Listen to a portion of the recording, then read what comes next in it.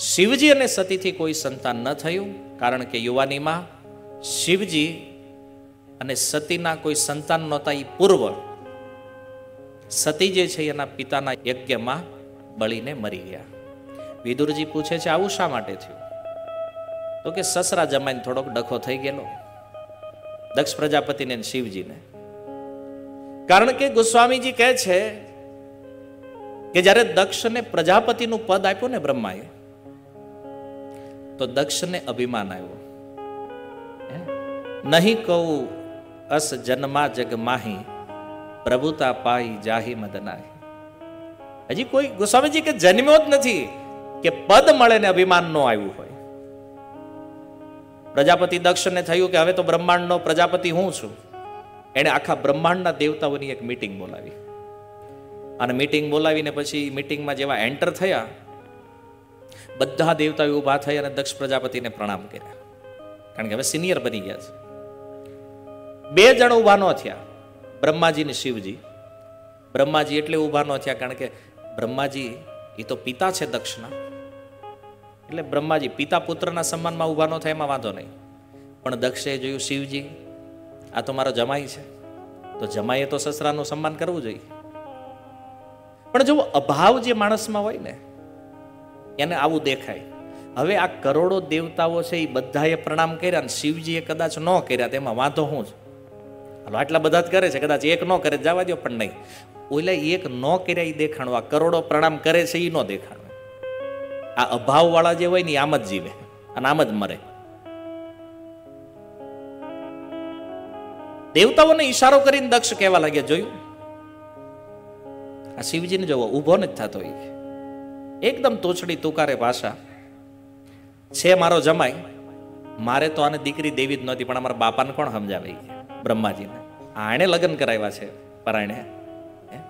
આ ઘોરી? કોઈ પવિત્રતાનું, સદાચારનું કોઈ જ્ઞાન નહીં, કોઈ ભાન નહીં પણ આ બ્રહ્માજીએ કીધું એટલે વિવાહ ન કરે આને કોણ જમાઈ બનાવે શિવજીની નિંદા કરે છે દક્ષ શિવજીને થયું અહીં બેહવામાં કોઈ સાર નથી. શિવજી ઊભા થઈને સભા છોડીને નીકળી ગયા. દક્ષને એમ હતું, કંઈક બોલે, કંઈક ઝઘડો કરે. પણ જો શિવજી, તો શિવજી છે ને મહાપુરુષ છે. શિવજીએ વિચાર કર્યો કે આ કંઈ બોલવામાં સાર નથી. અને માન અપમાનથી તો શિવજી પરે છે. શિવજી ત્યાંથી નીકળી ગયા. પણ જો કોઈક તમને અપમાન કરવા માંગતો હોય ને તમારે હારે માથાકૂટ કરવા માંગતો હોય, પણ તમે બોલો નહીં ને, એટલે વધારે ગાંડો થાય.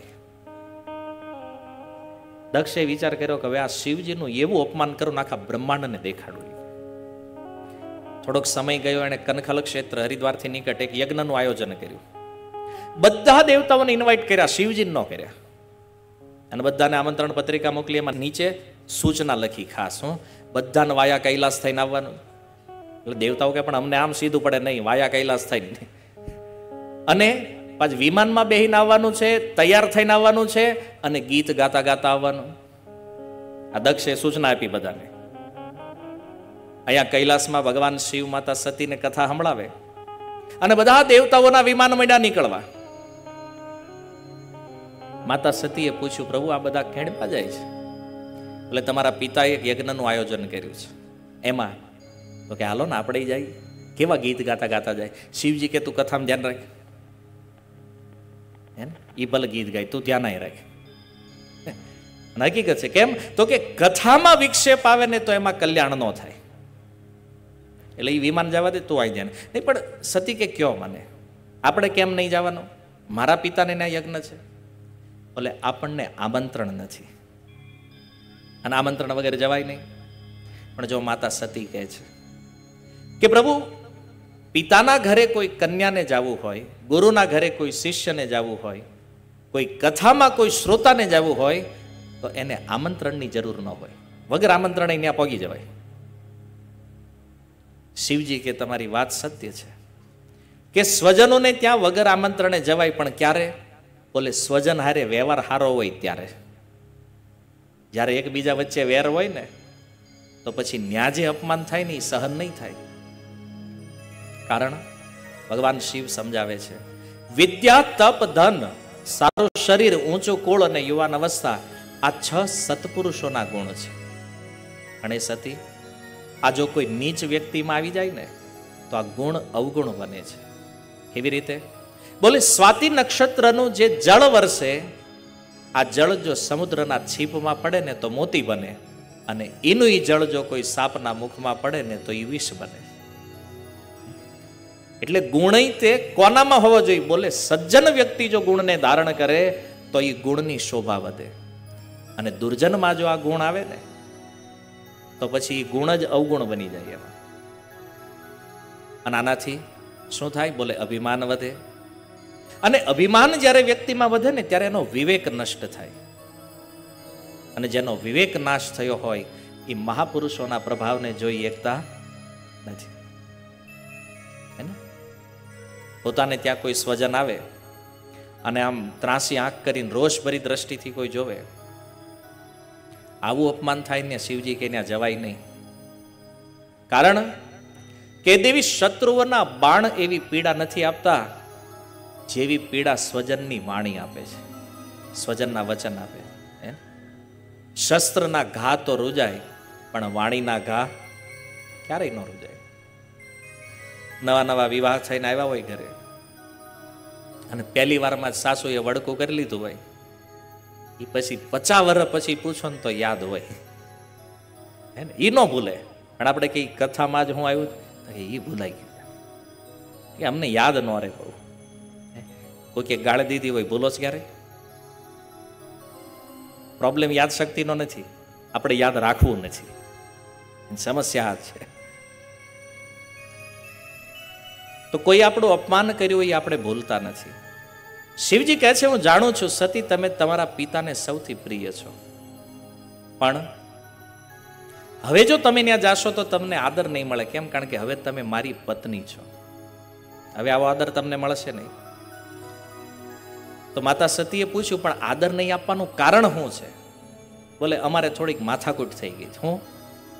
તો કે આ રીતે સભા હતી ને બધાએ પ્રણામ કર્યા ને મેં ન કર્યા. સતી કે બસ આટલી વાત? તમારે પ્રણામ કરી લેવાય ને કે એમાં શું આવે છે જો દીકરી ગમે એવી હોય પક્ષ તો પિતાનો જ લે હે? એ કે મૂળ વાંધો તો ખાલી પ્રણામ ન કર્યો એટલો હતો તો પછી કે તમારે પ્રણામ કરી લેવા જોઈએ ને તો આ ડખો જ ન થાત. સતી કે તેમ આખા ગામમાં બધાને પ્રણામ કરો છો મારા બાપાને પ્રણામ કરવામાં હું વાંધો હતો તમને? હે ને? શિવજી કહે છે કે સતી, તમારી વાત સત્ય છે, હું પ્રણામ બધાને કરું, પણ ક્યાં પ્રણામ કરું છું? બોલે, જ્યાં મને ભગવાન નારાયણનું દર્શન થાય, હું એ ભગવાન નારાયણને પ્રણામ કરું છું. વ્યક્તિને નહીં. માનો જાય આવીને શિવજી આપણને પ્રણામ કરી, આપણને નથી કરતા. એ આપણા હૃદયમાં સ્થિત પરમાત્મા સ્વરૂપ જે ભગવાન નારાયણ છે, એને પ્રણામ કરે છે. અને આ જગતમાં પણ આજે કોઈ કોઈને વંદન કરે છે ને, તો એ વંદન ભલે દેખાય કે આપણે વ્યક્તિને પ્રણામ કરીએ છીએ પણ વાસ્તવમાં એ પ્રણામ કોને થાય છે? બોલે હૃદય સ્થિત પરમાત્માને થાય છે. તો સતી કે તેમ નારાયણને પ્રણામ- કરો છો મારા બાપાની અંદર તમને નારાયણ ન દેખાણા? હે? બધે નારાયણ દેખાય. ત્યાં નહોતા? શિવજી કે નારાયણ તો દક્ષના હૃદયમાં પણ હતા. પણ એ દક્ષનું અભિમાન એટલું હતું ને કે એ અભિમાનના કારણે ભગવાનનું સ્વરૂપ ઢકાઈ ગયું અને મને એમાં ભગવાનના દર્શન થયા નહીં. અને એટલે મેં પ્રણામ ન કર્યા. મને ભગવાન ન દેખાણા. કારણ કે અભિમાની માણસ હોય ને, એમાં ભગવાનનું સ્વરૂપ છુપાઈ જાય છે.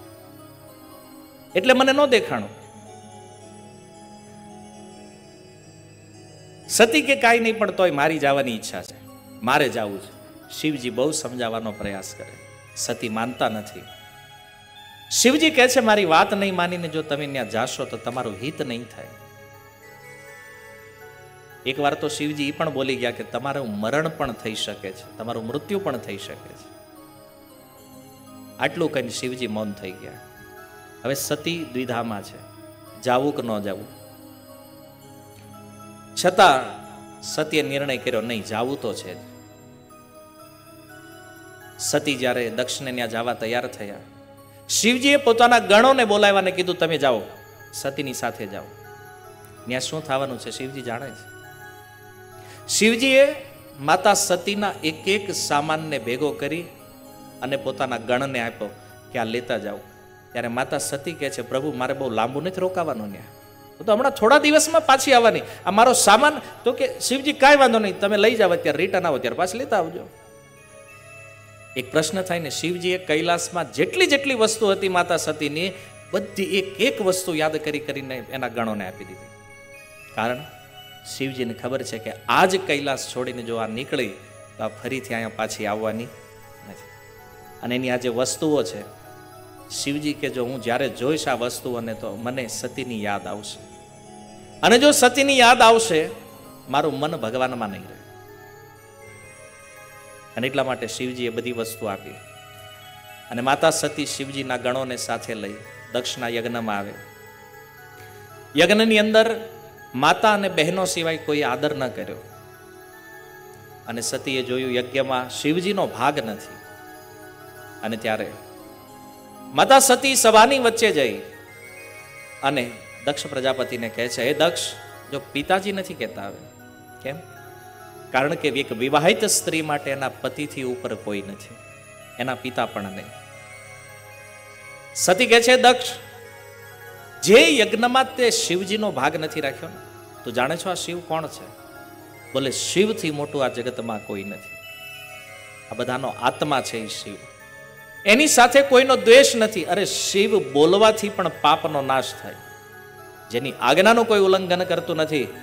આવા ભગવાન શિવ સાથે તમે વેર રાખો છો. એ દક્ષ, તારી જેવા લોકો મહાપુરુષોની નિંદા કરે ને એ તો ધ્યાન નથી આપતા. એ મહાપુરુષોના ચરણની રજ જે છે ને એ અપરાધ સહન કરતી. તમે કોઈ મહાપુરુષનું અપમાન કરો ને, એને અપરાધની કાંઈ ન પડી હોય. પણ એની ચરણ રજ જે છે એ અપરાધ સહન કરતી નથી. જે શિવને તમે અશિવ કહો છો ને, આ બધા દેવતાઓની વાત જવા દે. સાક્ષાત બ્રહ્મા પણ શિવના નિર્માલ્યને પોતાના મસ્તક ઉપર ધારણ કરે છે. જ્યાં પોતાના સ્વામીની નિંદા થતી હોય ત્યાં બે કામ કરવા જોઈએ. એક તો બોલવાવાળાની જીભ કાપી લેવી જોઈએ. અને જો આવું સામર્થ્ય ન હોય, તો કાન બંધ કરી દે. નીકળી જવું જોઈએ સ્થાનને છોડી. આ ધર્મ છે. જો હું અહીંથી પાછી ફરીશ, તો લોકો મને દક્ષ પુત્રીનું સંબોધન કરશે. અને દક્ષ તારાથી મળેલું આ શરીર, આ સંબોધન હવે મારે જોતું નથી. આજે હું આનો ત્યાગ કરું છું. અને યજ્ઞશાળામાં દક્ષિણ ભાગની અંદર જઈ અને માતા સતી બેઠા, ધ્યાન લગાવીને આચમન કર્યું. તમે વિચાર કરો, સનાતન ધર્મની અંદર કોઈ પણ કાર્ય પ્રારંભ થાય તો એની પહેલાં આચમન કરવામાં આવે છે. અને આચમનની વિધિ શું કામ છે? ઘણા, ઘણી વાર એમ કે બ્રાહ્મણો કંઈક વિધિ કરે તો કે અમે તો હમણાં નાઈને આવ્યા છે આચમન શું કામ? તમે નાઈને આવો છો, ખાલી શરીર પવિત્ર થાય. આત્માની શુદ્ધિ માટે આચમન છે. ત્રણ વાર જ્યારે જળ ઓમ નારાયણાય નમઃ. ઓમ માધવાય નમઃ, ઓમ કેશવાય નમઃ. ભગવાનના નામથી જ્યારે આચમન કરે ને, ત્યારે આત્માની શુદ્ધિ થાય, આચમન દ્વારા. તો જો મરવામાં હું શુદ્ધિ જોઈ, છતાં મૃત્યુ સમયે પણ માતા સતી આચમન કરી, પદ્માસનમાં બેઠા અને પોતાના શરીરથી યોગ અગ્નિ પ્રગટ કરી અને એમણે પોતાના દેહનો ત્યાગ કર્યો. ભૃગુ ઋષિએ જોયું કે આ સતી જ્યારે દેહ ત્યાગ કરી રહ્યા છે એને થયું કે કાંઈક અનહોની થાહે પાક્કું છે. એણે યજ્ઞના દક્ષિણ કુંડમાં આહુતિ આપી અને ઋભુ નામના દેવતાઓનો સમૂહ પ્રગટ કર્યો. કે કદાચ કોઈ યજ્ઞને વિધ્વંસ કરવાનો પ્રયાસ કરે તો એની રક્ષા કરી શકાય.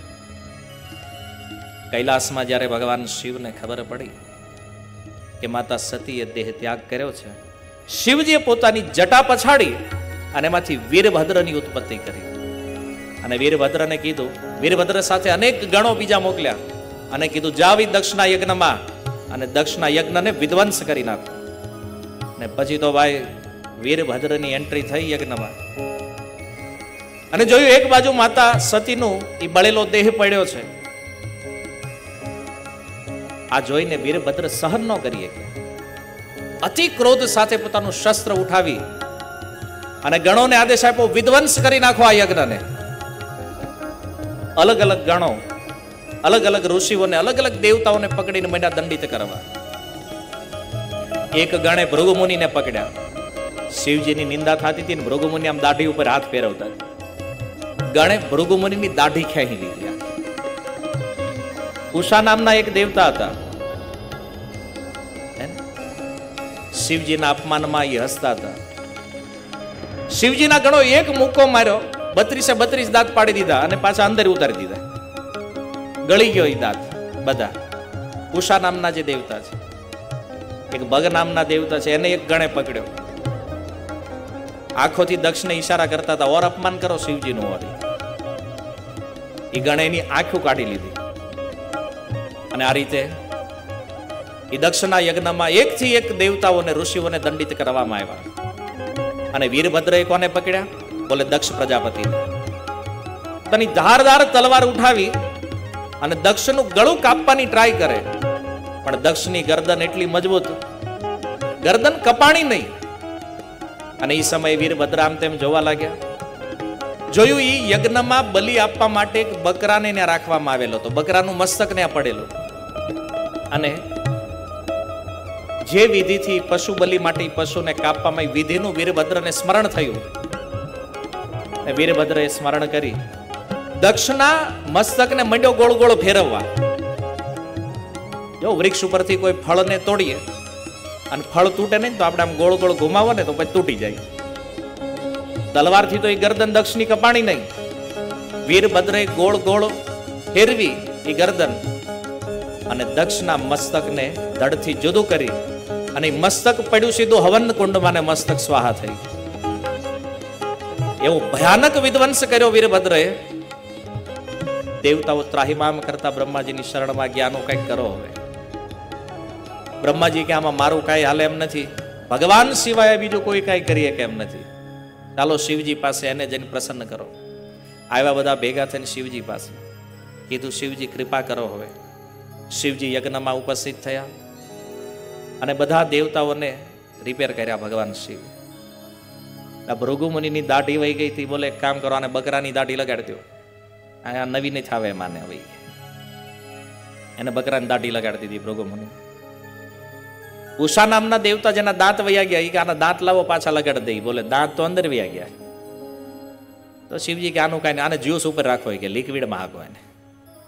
આ પૂષા નામના દેવતા જે છે ને, યજ્ઞમાં એને આહુતિ આપવામાં આવે છે. તમે જ્યારે વેદ મંત્ર સાંભળશો ને, પુરુષ સૂક્ત એમાં પૂષા નામના દેવતાનો ઉલ્લેખ છે.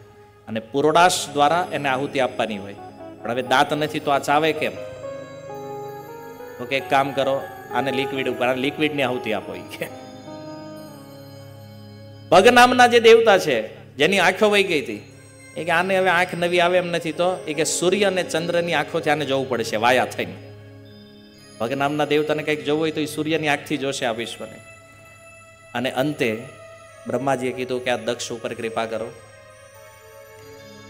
શિવજી કે આનું માથું લાવો. બોલે મસ્તક તો હવન કુંડમાં સ્વાહા થઈ ગયું. તો?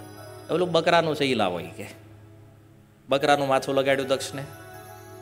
અને જેવું બકરાનું મસ્તક લાગ્યું ને દક્ષનું બધું અભિમાન શૂન્ય થઈ ગયું. શિવજીના ચરણમાં પોતાના અપરાધની ક્ષમા યાચના કરી. અને ત્યારબાદ દક્ષ પ્રજાપતિ ભગવાનના ભજનમાં લાગ્યા. આ રીતે શિવજીએ આ યજ્ઞને પરિપૂર્ણ કરાવ્યો. જે યજ્ઞમાં સાક્ષાત ભગવાન નારાયણ પણ પ્રગટ થયા છે. અને યજ્ઞ પરિપૂર્ણ થયો.